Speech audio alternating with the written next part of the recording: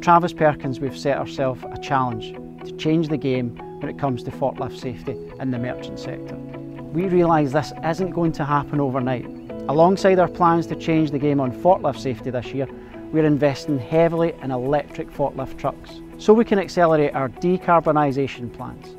The first two areas of our forklift improvement programme focus on safe site and safe operators. I'm really proud of how our colleagues have stepped up to the challenge of looking at their sites with a fresh pair of eyes and not accepting the historical norms in our industry. If we don't start and continue to think differently about how we manage and behave around forklifts, we are never going to achieve our goal as part of the Forklift Improvement Programme, we have already taken big steps forward in improving how we interact with forklifts safely. To start with, we have reviewed how we use our forklifts. We took some time as a team to understand how they are used and therefore what we could do to stop using them outside of their core use. After we stepped up our game on how we interact with forklifts, we turned our attention to the layout of the yard and the warehouse.